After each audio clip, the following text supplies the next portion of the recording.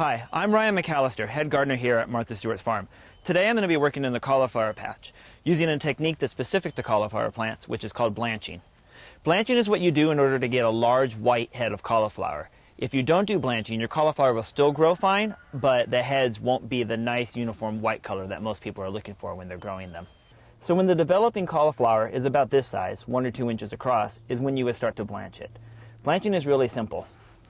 Various things you can use for it. Clothespins or rubber bands are most common. I have little plastic clips that I tend to use. All you have to do is take the leaves on the plant and carefully fold them across to kind of make a cover for the developing cauliflower. This shading from the sun is what will allow them to be blanched or to keep the white color. If you don't do blanching, the heads are perfectly fine to eat. There really isn't any difference other than the color. A head like this one over here that hasn't been blanched, you can see the purple color developing through. Most cauliflowers will naturally be purple or green. Another thing, you want to make sure to do this on a dry day. You don't want any water on top of the head trapped inside, or you risk the chance of your head rotting. There, and that's all clipped. The head will develop quite large in a few days, and it will be perfectly white.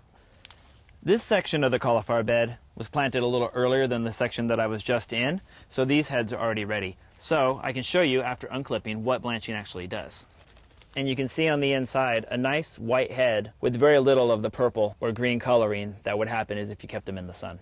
So, by spending a few extra minutes in the beds while the cauliflower are developing and by using the blanching technique, you can achieve the nice large white heads you're looking for when growing cauliflower.